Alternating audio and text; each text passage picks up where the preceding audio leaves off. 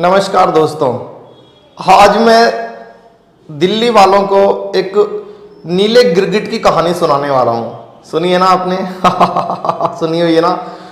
दोस्तों, एक नीला गिरगिट था, नीला। वैसे तो गिरगिट जब चाहे कलर चेंज कर लेता है, लेकिन उसका जो स्थायी कलर था, वो नीला था। वो एक नीला गिरगिट था। हर बात पे रंग बदलता, हर बात पे यू टर्न ले लेता। गलती से दोस्तों उसका मनुष्य के रूप में जन्म हो गया। हरियाणा के अंदर वो नीला गिरगिट मनुष्य का रूप लेके पैदा हो गया।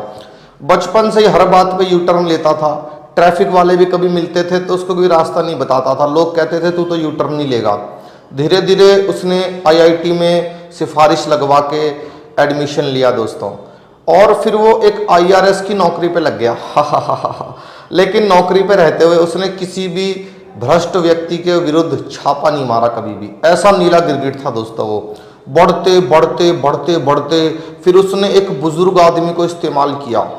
उस बुज़ुर्ग आदमी को उसने रामलीला मैदान होता था वहाँ पे। कोई बहुत बड़ा लोग, पुराने लोग बताते हैं कि वो एक, उसने रामलीला मैदान के अंदर एक बुज़ुर्ग की छाती पे पैर रख के बड़ा आंदोलन किया।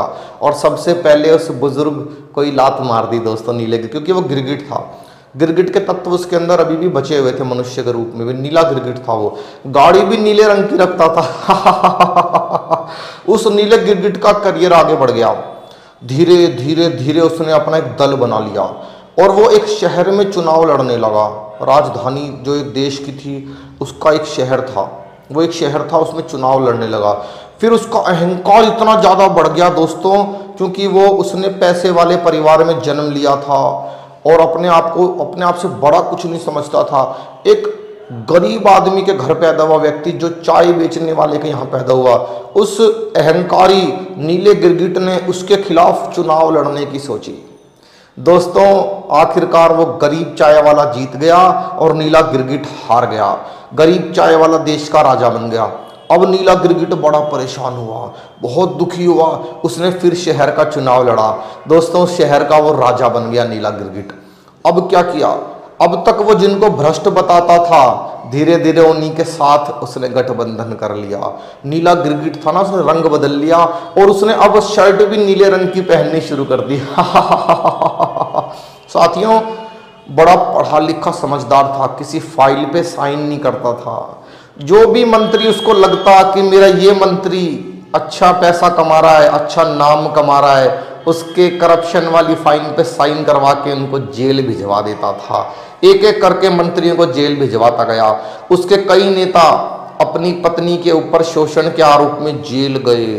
उनका एक नेता तो हिंदुओं के ऊपर बम फेंकता हुआ पकड़ा गया छत के ऊपर से, लेकिन नीले गिरगिट को शर्म नहीं आई, क्योंकि उसके अंदर तो कुंठा थी। वो दुखी था, अंदर ही अंदर तिलमिलाता था कि एक चाय वाले से मैं मैं राजा हार गया, एक शहर का राजा हार गया, चाय वाले से, चाय वाला देश का राजा बन गया। उसकी कुंठा बढ़ती चली गई दोस्तों, और चाय वाला देखते देखते पूरी दुनिया में छा गया। अब नीला गिरगिट अपने जैसे सांपों को, बिच्छुओं को बघेरों को इकट्ठा करने की कोशिश करने लगा कि कोई कोई सारे मिलके हम उस चाय वाले को हरा दें।